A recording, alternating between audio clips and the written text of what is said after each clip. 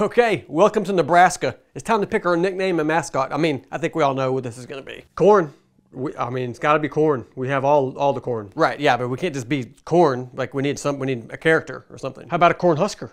What's that? He's the guy that does the. He, he husks the corn. All right, I'm in. Let's do it. I, I don't know about the corn husker. It sounds inappropriate, maybe, or something. No, it doesn't. It's it's fine.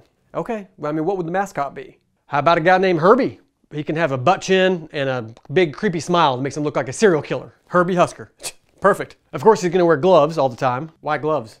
But because he husks the corn. Yeah, you got to wear gloves when you're husking your corn. Everybody knows that. Ah, okay. Can we stop saying that? Are we done? Yeah, we're done. All right. Good job, everybody. And then we'll also have Lil Red. Lil who?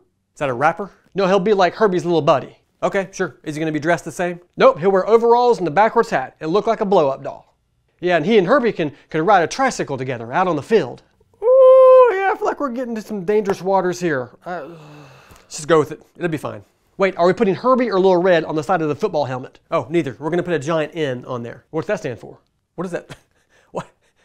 Knowledge.